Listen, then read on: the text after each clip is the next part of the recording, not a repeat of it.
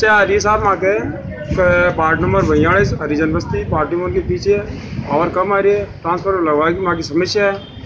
कि सबकी बच्चा बच्ची दुखी हो रहा है। कितने समय से समस्या आ रही है? और करीब आगे सात आठ साल होगी अच्छा। आज आपने क्या कहा ज्ञापन दिया क्या हुआ? ज्ञापन ये दिया है कि साहब ट्रांसफार्मर लगा दो और ये लाइट को सुचारू से चलाओ आप।